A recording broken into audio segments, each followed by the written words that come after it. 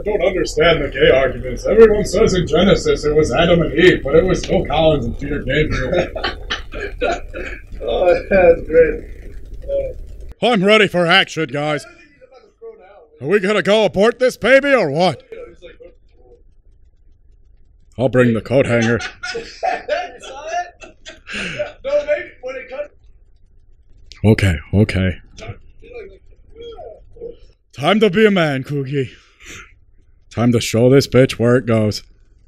In the pier. Kugayama be getting his dick wet er, er a day. Ho, ho, ho. I'm your little Kugu. Kugu, got you.